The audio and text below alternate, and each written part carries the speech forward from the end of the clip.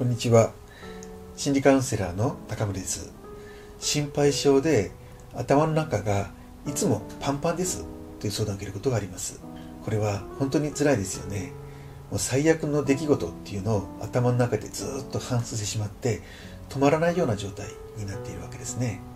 でこういったものから楽になっていくためには2つのアプローチが必要です。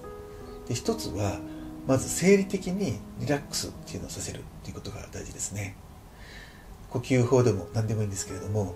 集中力を使って心を落ち着かせるっていう方法をするとある程度は軽くなるっていうことがありますね。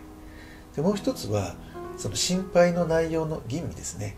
この辺をしていくためにまずはどんなことを心配しているのかっていうことを言葉にして見える化するっていうことですね。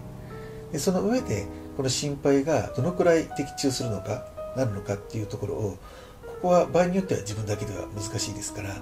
第三者的な割と冷静に客観的に見てくれて意見を言ってくれる方に自分が心配してる内容っていうのを話してみてどのくらいそれが起きそうかっていうことでもしそれが相手もこれはちょっとやばいねっていうのであれば事実でしょうしそんなに心配しなくて大丈夫じゃないのっていうふうに言ってもらえるとしたら多分そちらの意見の方が適切なんですよね。こういったことを自分だけではなくて他人の意見を聞くっていうことも大事ですし一つの対象として吟味していくっていう行為そのものがとても自分を楽にさせてくれますのでよろしければこのようなことをトライしてみていただければというふうに思いますこのようなことをお知りになりたい方はカウンセラー高めで検索してみてください。以上最後までご覧いただきありがとうございました。